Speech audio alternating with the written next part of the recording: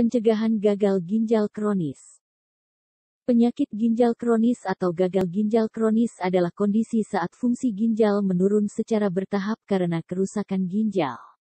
Secara medis, gagal ginjal kronis didefinisikan sebagai penurunan laju penyaringan atau filtrasi ginjal selama tiga bulan atau lebih.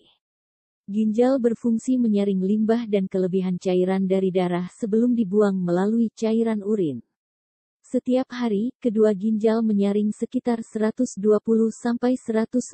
liter darah, dan menghasilkan sekitar 1-2 liter urin.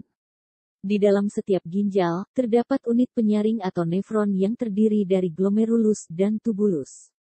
Glomerulus menyaring cairan dan limbah untuk dikeluarkan, serta mencegah keluarnya sel darah dan molekul besar yang berbentuk protein. Selanjutnya, saat darah melewati unit penyaring tubulus, mineral yang dibutuhkan tubuh disaring kembali sedangkan sisanya dibuang sebagai limbah. Selain menyaring limbah dan kelebihan cairan, fungsi ginjal lain yang penting dalam tubuh, di antaranya menghasilkan enzim renin yang menjaga tekanan darah dan kadar garam dalam tubuh tetap normal. Membuat hormon eritropoietin yang merangsang sumsum -sum tulang memproduksi sel darah merah memproduksi vitamin D dalam bentuk aktif yang menjaga kesehatan tulang.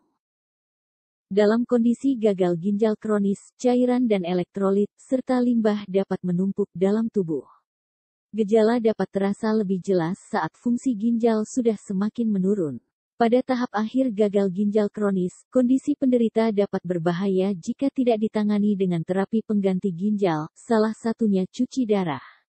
Mengatasi penyakit yang dapat meningkatkan risiko terkena gagal ginjal kronis, seperti diabetes dan darah tinggi, adalah cara paling utama yang bisa dilakukan agar terhindar dari penyakit ini. Sedangkan pada penderita, upaya pencegahan agar gagal ginjal kronis tidak bertambah buruk meliputi menjaga berat badan ideal, menghentikan kebiasaan merokok, karena kebiasaan ini dapat memperburuk kondisi ginjal Mengikuti petunjuk dokter dalam mengatur pola makan dan mengonsumsi obat. Hindari konsumsi obat pereda nyeri golongan OAINS atau obat antiinflamasi nonsteroid yang dapat memperburuk kondisi ginjal. Jagalah selalu kesehatan Anda dengan mengkonsumsi makanan sehat serta gaya hidup sehat.